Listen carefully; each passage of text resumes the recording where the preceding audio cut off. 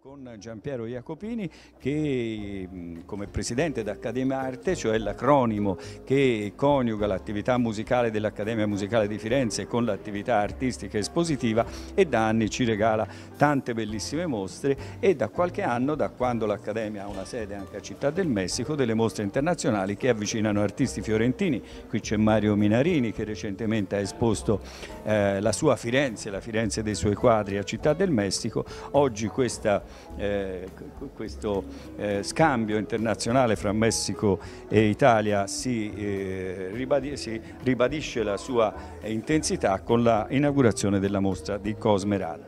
Intanto chi è Cosmerada? Cosmerada è un eh, artista fotografo messicano che è anche tra l'altro il fotografo ufficiale del della Camera dei Deputati del Parlamento messicano, ma è anche un freelance perché lavora per diverse testate giornalistiche eh, messicane e non solo.